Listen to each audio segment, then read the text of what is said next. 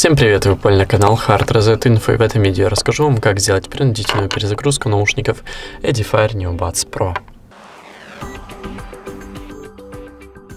Итак, для того, чтобы сделать их принудительную перезагрузку, давайте для начала представим ситуацию, в которой это можно будет, в которой это может помочь и вообще может пригодится. Что если у вас там перестали работать кнопочки, они там нормально не входят в режим сопряжения, ничего такого не происходит, то есть вы не можете к ним подключиться, хотя они уже вне кейса.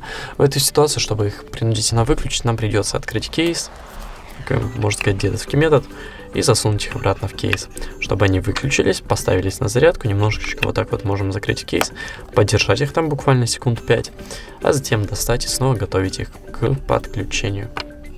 А на этом все.